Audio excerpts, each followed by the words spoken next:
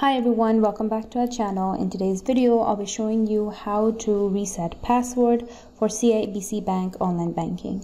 But before we learn to do that, please don't forget to subscribe to our channel. And if you're new here, don't forget to hit the bell icon so you do not miss an update from us.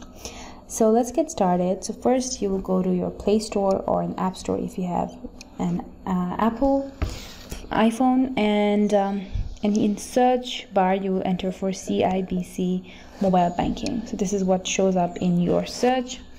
And then you will install this app mobile banking app and then once it's installed you see I've already installed it here you'll click on open.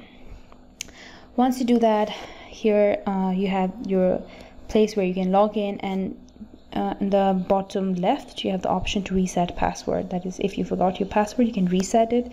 You'll click there and here you need to enter your card information that is for to identify your account. So here you'll enter your 16 digit card number then you also enter your card expiry date in months and in year. Sorry.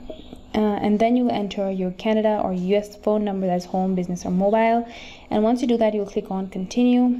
And after that they will send you and after that they will send you uh, either an email or a, a, verification code on your phone number and you'll enter that and then you'll be able to reset your password after which you can use the new password to log back into your account.